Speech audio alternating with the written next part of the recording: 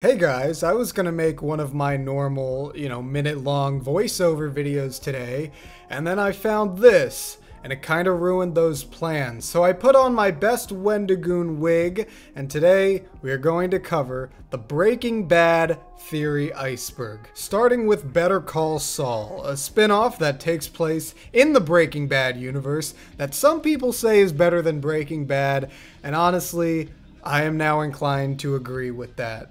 So that's where I stand on the first controversial topic of the day. Similarly, El Camino takes place after Breaking Bad, whereas Better Call Saul is mostly a prequel. Let's get to the good stuff. Breaking Bad action figures banned from Toys R Us. So in 2014, Toys R Us was compelled to team up with AMC to release a line of Breaking Bad action figures, and that led to one of the first and most influential Karen freakouts of all time. When a woman named Susan Myers started a Change.org petition calling for Toys R Us to remove Breaking Bad dolls from their shelves, saying, quote, while the show may be compelling.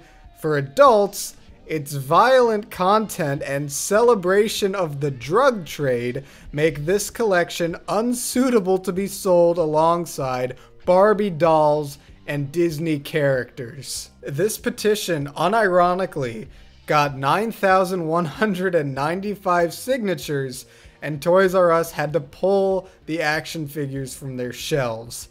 And just imagine if this happened today. Blue meth is rock candy. So, believe it or not, Breaking Bad is a TV show, and the meth in the show is not actually meth. If you want to make your own blue rock candy, there are plenty of tutorials, some of which have been blowing up lately, and uh, you can be an at home Heisenberg without losing any of your teeth. Real life Walter White. So there have been many news stories, both fake and real, about chemistry teachers becoming drug kingpins. So Walter White's alias Heisenberg in the show actually comes from a real life German physicist named Werner Heisenberg, uh, who's known for Heisenberg's uncertainty principle, except not anymore because now he's known as the guy who inspired the name of Walter White's alter ego. So Breaking Bad's first season aired in January of 2008, but in 2007, the Writers Guild of America Union of Screenwriters in Hollywood, went on strike, which actually forced AMC to shorten the first season from nine episodes to seven. Breaking Bad is a show known for keeping things brief and packing a lot into a little with the whole run only airing for five seasons. Real Breaking Bad locations. So it looks like the iceberg writer uh, felt the need to mention that Albuquerque is a real place that exists in America and people live there. And you can find places like uh, the Crystal Palace, Jane and Jesse's apartment, the car wash, and of course, Walter White's residence, which leads us to the pizza roof. The scene where Walt throws a pizza onto his roof was done in one take, which I think is pretty impressive. But there have also been problems where the real life people who live in this house have woken up with pizzas on their roof. I think that's worse than swatting. It it feels more insulting than swat. Maybe okay, maybe not worse, but Bryan Cranston requested to wear the hat. So the reason why Bryan Cranston wears this hat is because his head was cold and he asked to. I don't know why this is on the iceberg. Minisodes. There are Breaking Bad shorts on YouTube that you can watch for free. They're called Minisodes, and they're amazing. And you should go watch them if you haven't already. Jesse's teeth. Now this comes from a soundbite where Vince Gilligan, ever the stickler for realism, says that the one thing he would change in Breaking Bad is make Jesse's teeth more like a meth addict's teeth. They're too white and too straight, and he doesn't think that's realistic. Ah, oh, he's a genius, isn't he? So we're going to start the deeper waters section with the little tidbit that the pizza on the roof is not sliced. This is because it was easier to huck it up there if it was all as a whole, and the visual of a whole pizza sitting on the roof was apparently more striking than a bunch of little slices. Who am I to doubt the genius of Vince Gilligan? Breaking Bad is a Malcolm in the Middle prequel. A lot of the actors in Breaking Bad, including Bryan Cranston, were known for their comedic roles before they got their roles in the show. Bryan Cranston specifically played Hal, the dad, in Malcolm in the Middle. So there's a fan theory that the events of Breaking Bad are, are a prequel to Malcolm in the Middle, and that after Breaking Bad, Walt goes into witness protection and changes his name to Hal, which is going to be very difficult for Walt to do because he dies at the end. So I don't really get this theory. Jesse was supposed to die in season 1. Jesse surviving through the first season is a consequence of the Writers Guild strike that I mentioned before. Back when the season was nine episodes, Jesse was going to be killed off at an at the end when a drug deal goes wrong. But since it was shortened to seven episodes, that was cut, and Jesse lived on. F. Skyler. This is referring to how Breaking Bad fans hate Skyler more than they probably should, especially when Marie is right there. Training videos. If you look at AMC's and Breaking Bad's YouTube channel, you'll see a series of training videos made as promos for Better Call Saul. And these include a series of strikingly realistic Los Pollos Hermanos employee training videos where Giancarlo Esposito is so in character, you'd think that Los Pollos Hermanos was a real fast food restaurant with real employees. Which, by the way, Lyle is just one of the best characters in Better Call Saul.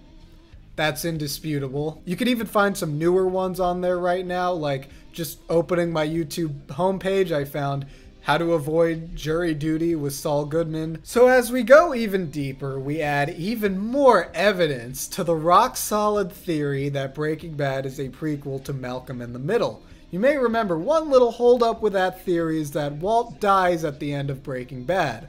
Well, here in the deep waters, we believe that Walt isn't dead. There are still several fan theories that say that Walt called the vacuum cleaner man at the end of the show. Maybe he just got up from the floor of the lab and tricked all the authorities into thinking he was dead the entire series is a dream. So there's a theory that Jesse got so bored in Mr. White's chemistry class that he went to sleep on the desk and dreamed that he dealt meth with a more exciting version of his chemistry teacher. And then presumably he woke up and he he went to live a, a better life. Breaking Bad and The Walking Dead take place in the same universe. Now, this centers around the fact that they're both AMC shows, but also a detail in The Walking Dead where Daryl's brother Merle has blue sky in his bag. And there's also a scene where they talk about his drug dealer, and it's just describing Jesse Pinkman pretty overtly. So, make of that what you will. Walt copies the people he kills. So whenever Walt kills someone, he takes on a certain trait from that person. For example, Crazy 8 used to eat peanut butter jelly sandwiches without the crust. After Walt kills him, he starts doing the same thing. Gus drives an old Volvo. After Walt kills Gus, he starts driving an old Volvo. I- am sure this is a, a Vince Gilligan is a genius moment, but I'm just reminded of that one meme uh, Tony loved cheeseburgers. SaveWalterWhite.com is a website that uh, Walt Jr. makes in the show to raise money for Walt's treatment, and it's actually a real website. We have reached the bottom of the iceberg, not to be confused with the abyss, which is coming up next. Walter Jr. was going to be killed off. So Vince Gilligan once planned for Walter White's son to be killed and the actor who played Walter Jr. even pitched it to him one time. The exact details of how Walter Jr. was going to be killed is explained later in the iceberg, and it makes me really glad that they didn't do it. Gus is gay. So, ever since the flashback that introduced Gus's close friend Max, there have been theories that they were more than friends. There isn't much evidence in the show, but if you take a look at his last appearance in Better Call Saul in the bar, you can interpret his relationship with the bartender as flirting.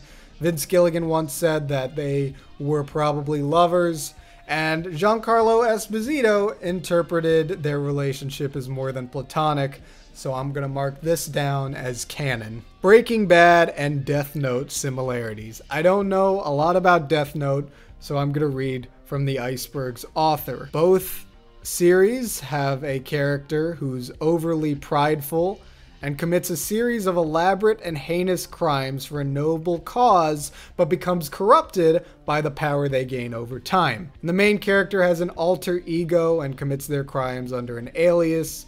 That's pretty common in shows like these. The sidekick shows them the ropes, and the sidekick suffers from an addiction.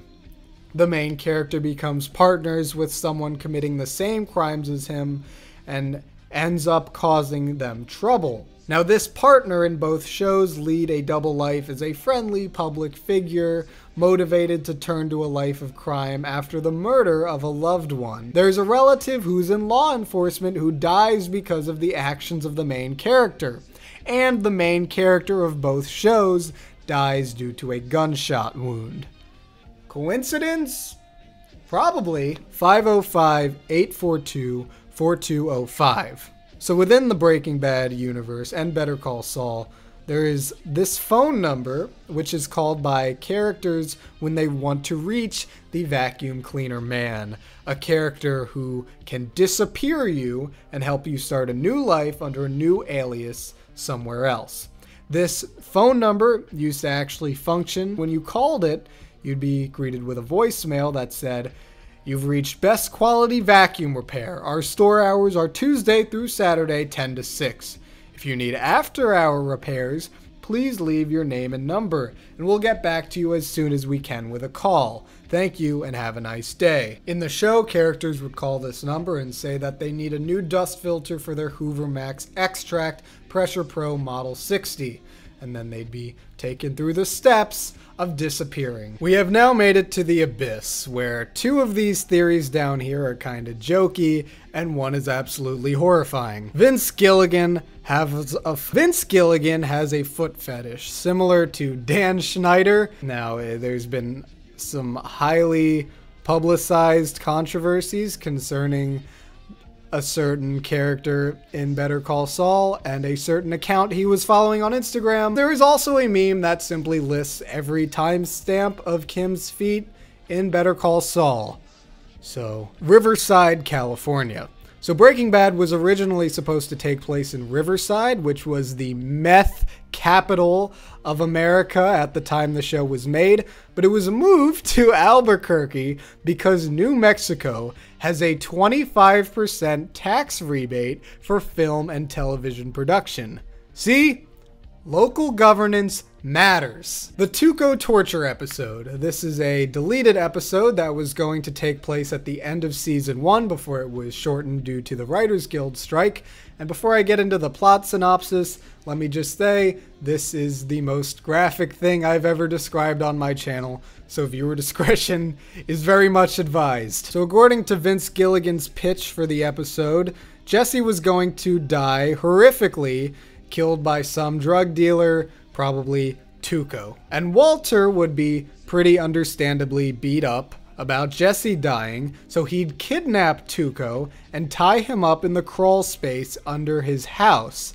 He would torture him every day, cutting off his toes one by one and cauterizing the wounds with a blowtorch so that Tuco wouldn't bleed out. However, Walter gives Tuco a way out. He ties a shotgun to a device with a tripwire, and all Tuco has to do to end his suffering is trip the wire and fire the shotgun. But he never does it. Eventually, Walt Jr. finds Tuco down there And when Tuco realizes that Walt Jr. is Heisenberg's son, he triggers the tripwire, killing them both. And I am now very glad that the Writers Guild went on strike in 2007. So that's the Breaking Bad theory iceberg. If you like this style of video and watched through to the end, make sure to hit that like button, hit that subscribe button, and comment which theory you find to be most believable. I am Joey Barr. This is what my face looks like if you've never seen it before, and I'll see you guys in the next video.